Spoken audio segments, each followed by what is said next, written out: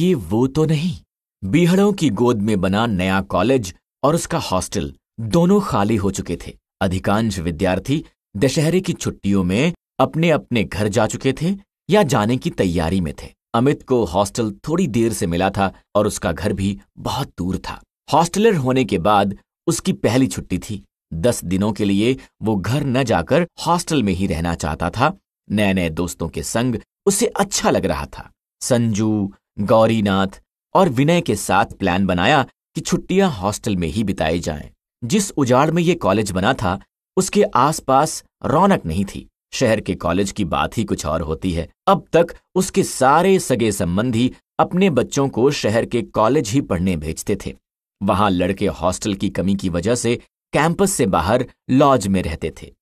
Laws के किस्से उसने बहुत सुने थे, जब से इलाके के नेताजी ने अपने संसदीय क्षेत्र में इतना बड़ा कॉलेज खुलवा दिया था, तब से आसपास की जगह थोड़ी गुलजार हो गई थी। नहीं तो इतनी उजाड़ जगह में कौन आता?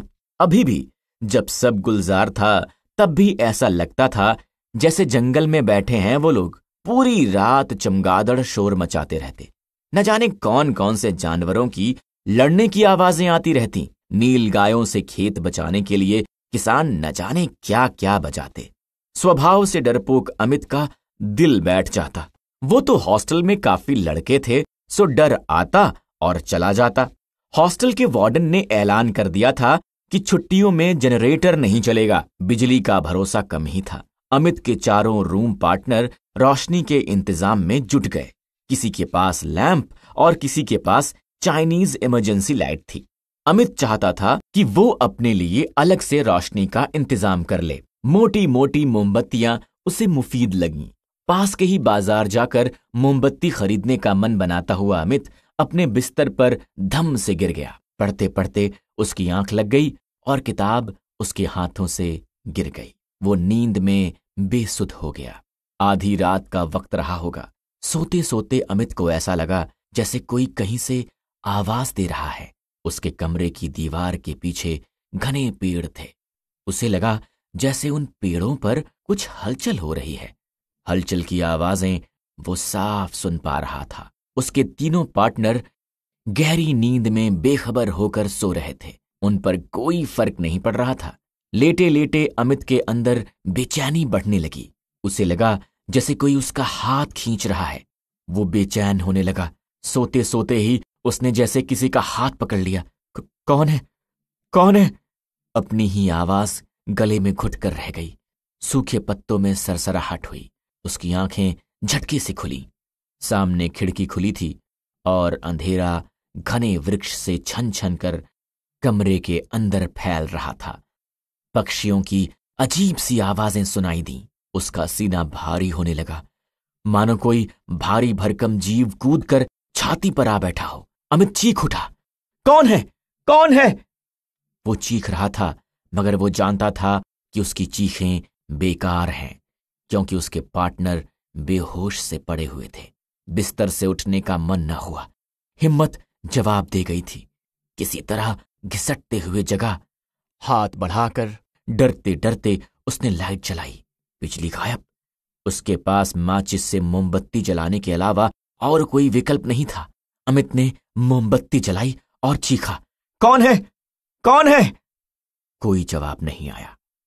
जवाब देने के लिए कोई था नहीं या कोई जवाब दे नहीं रहा था।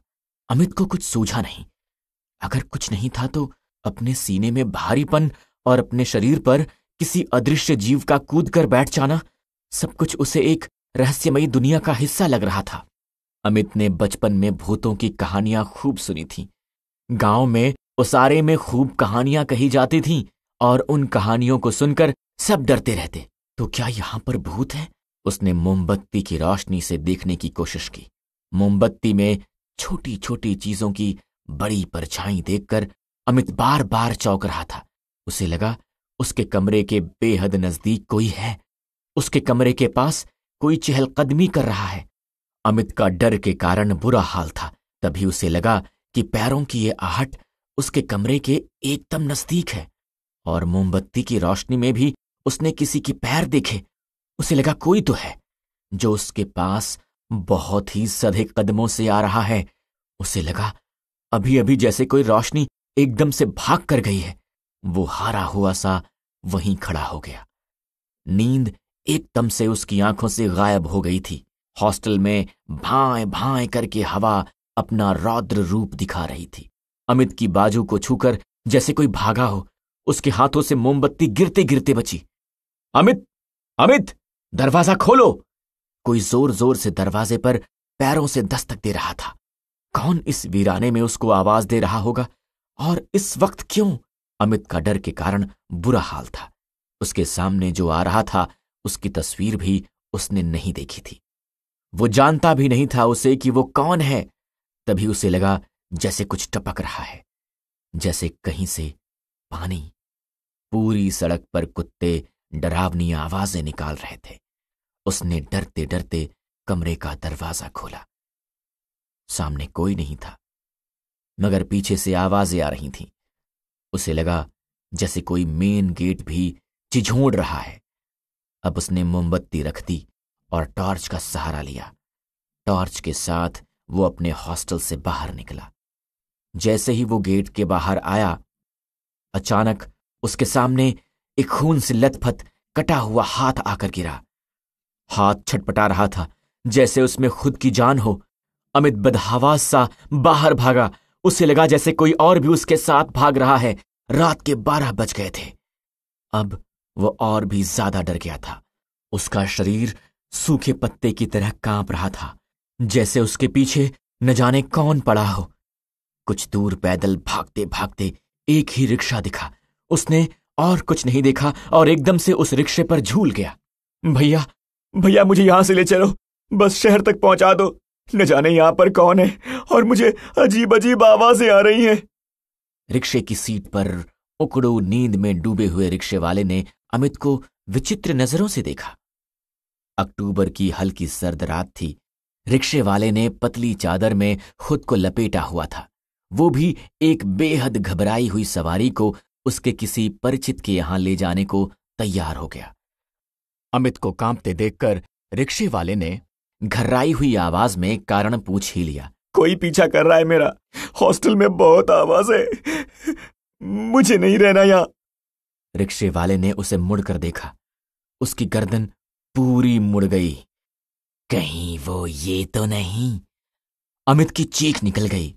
जब उसने देखा कि रिक्शे वाले के दोनों हाथ कटे हुए थे और रिक्शा चल रहा था, उसके कटे हाथों से वही आवाज़ आ रही थी जो उसने अभी अभी सुनी थी। टप टप, काटो तो खून नहीं, उसका खून जमने लगा। वो एकदम से रिक्शे से कूदा और उसने पीछे से आती हुई बाइक को भी नहीं देखा। बाइक वाला पीछे से चीखता रहा, मुझे बचाओ! अमित उसकी आवाज़ सुनकर पीछे मुड़ा तो उसने देखा कि अंधेरी सड़क पर बाइक बीचों बीच खड़ी है और उसके हैंडल पर किसी के कटे हुए हाथ झूल रहे हैं। अमित ने बदहवास होकर भागना शुरू कर दिया। भागता भागता वो एक मोड़ पर पहुँचा। दूर दूर तक रास्ता सुनसान, कहीं कोई नहीं। एक चाय की दुकान खुली थी। उसकी सांस में सांस आई। बहुत देर हो गई थी, उसे इस तरह डरते हुए, भटकते हुए। अब वो सुस्ताना चाहता था। उसका शरीर काँप रहा था। उसे लगा जैसे वो अभी गिर पड़ेगा। वो बेंच पर बैठ गया, अपनी फूलती सांसों को नियंत्रित किया, अपने कांपते शरीर को नियंत्रित किया। थोड़ा दम धरकर उसने चाय मांगी। चाय वाले ने पूछा, क्या हुआ भैया? बहुत ही तेज़ी से भाग रहे हो। कौन हो? भूत परेत पीछे पड़ गए हैं क्या? जो इतनी दूर से दौड़ते हुए आ रहे हो। काहे मिल्खा सिंह बने हुए हो? चाय वाला बोलता जा रहा था। अमित ने उसे अपनी परेशानी बताई और शाम से लेकर अभी तक जो भी उसके साथ हुआ, उसने एक एक बात बताई। अमित के होश तो तब गुम हुए जब उसने देखा कि चाय अपने आप बन रही है और चाय वाले के चेहरे पर मुस्कान है। चाय वाले ने चाय उसकी तरफ़ हवा में बढ़ाते हुए पूछा, कहीं ये वो तो नहीं? और फिर भयंकर अट्टहास करने लगा। अमित का खून एक बार फिर से जम गया और वो डरकर भागने लगा। उसको लगा जैसे उस चाय वाले के आधे कटे हुए हाथ उसका पीछा कर रहे हैं और उसके हाथों ने चाय वाले के शरीर से अलग होकर उसके पैर पकड़ लिए हैं। वो रास्ते पर एक टीले से टकराकर गिर पड़ा। हार नहीं मानी और वहाँ से उठा और भागता चला गया। आगे जाकर उसने एक कार खड़ी देखी। उसकी पार्किंग लाइट जल रही थी। उसकी सांस में सांस आई। अब उसके पैरों में जरा सी भी चलने की ताकत नहीं बची थी। उसके पैरों से खून भी बहने लगा था और उसकी सांस अब भयानक तरीके से फूल गई थी। हवा में टंगे हुए हाथ उसे परेशान कर रहे थे। अमित को अपने गले में कुछ अटकता सा महसूस हुआ। उसे लगा, वो दो हाथ उसका गला दबा रहे हैं। उसके गले से गो गो की आवाज़ निकल रही थी। अमित को लगा, जैसे वो मरने वाला है। तभी उसने पूरी ताकत से कार को आवाज़ लगाई। कार के अंदर से ड्राइवर ने सिर बाहर निकालकर हाथ के इशारे से कुछ पूछा। हाफते कांपते अमित उसे अपना किस्सा सुनाने लगा। हॉस्टल में उसके साथ जो हुआ और उसके बाद कैसे वो रिक्शे वाले की गिरफ्त में आया और फिर चाय वाले के कटे हाथ उसका पीछा करते करते यहाँ तक आ गए। कुत्तों की लड़ाई अब तेज होने लगी थी। अजीब सी आवाजों से जितना अमित पीछा छुड़ाना चाह रहा था उतना ही वो आवाज़ें उसे अपनी गिरफ्त में ले रही थीं। अमित की पूरी कहानी सुनने के बाद वो ड्राइवर हंसा।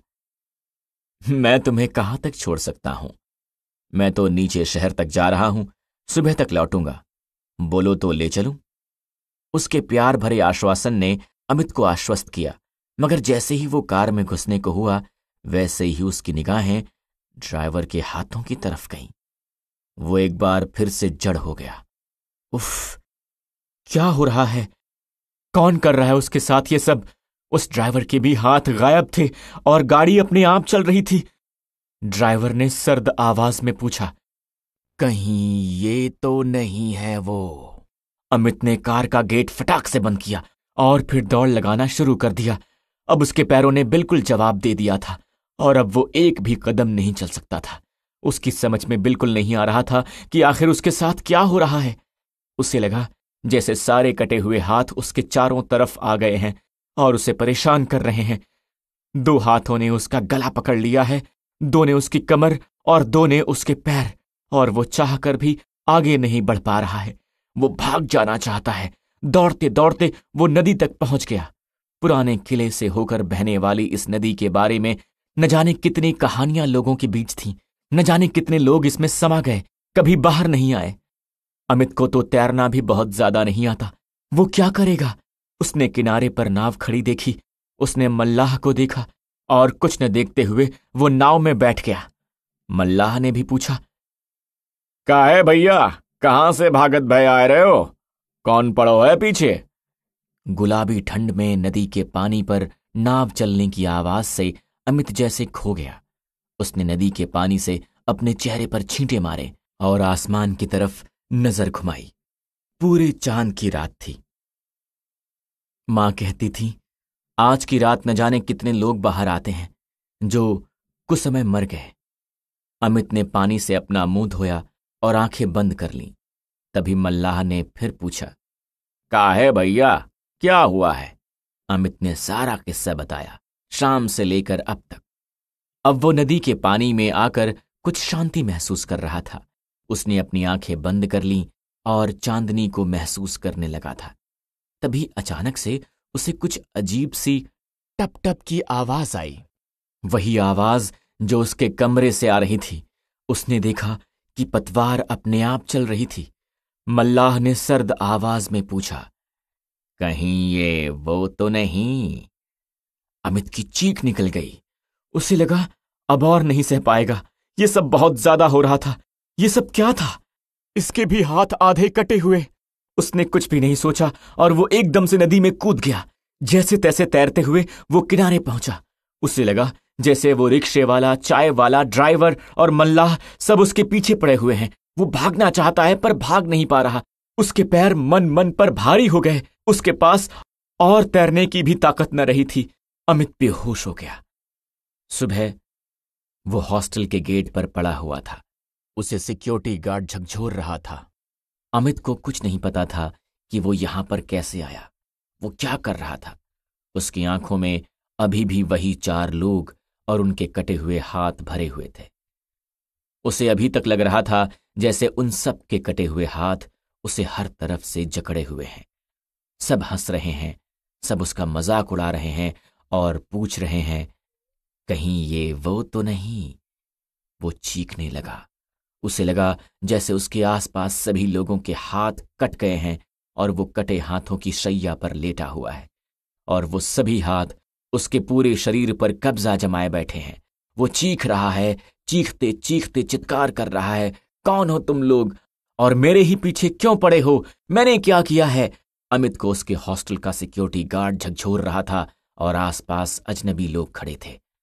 उसने देखा, गार्ड भी हाथ विहीन है। बिना हाथ के झिझोड़ रहा है। अमित डर के कारण सिमट रहा है। उसके चारों तरफ़ हाथ ही हाथ हैं। सामने की दीवार पर एक खून सनी हथेली की छाप है और खून से ही लिखा हुआ है, कहीं ये वो तो नहीं। आज के लिए बस इतना ही। आगे के भाग के लिए चैनल को सब्सक्राइब करें